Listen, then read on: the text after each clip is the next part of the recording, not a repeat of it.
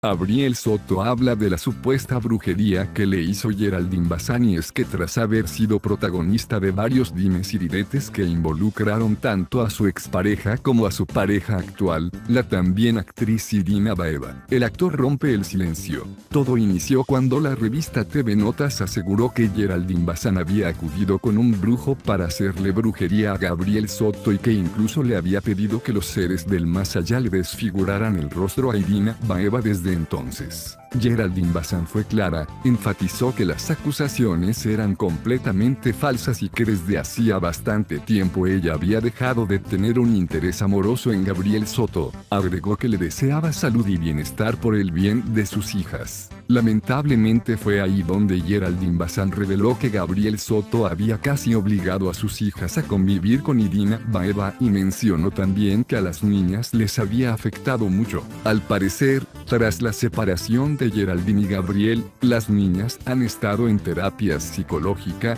para poder procesar la nueva dinámica familiar. Nuevamente Geraldine Bazán, Gabriel Soto e Irina Baeva fueron blancos de ataques por parte de sus seguidores. Algunos aseguraban que era un truco publicitario, otros que Geraldine exageraba cuando debía superar lo ocurrido, otros que Irina había separado a una familia y finalmente, otros indicaron que el gran culpable era Gabriel tras días de guardar silencio y de enfocarse en el éxito de su más reciente telenovelas. Gabriel Soto abordó el tema con los medios de información en una entrevista reciente. Gabriel Soto fue cuestionado por la supuesta brujería que Geraldine Bazán solicitó, insistió en que no quería hablar mucho del tema por no crear nuevamente dimes, diretes y ataques en su contra, de Geraldine Bazán y de Irina Baeva.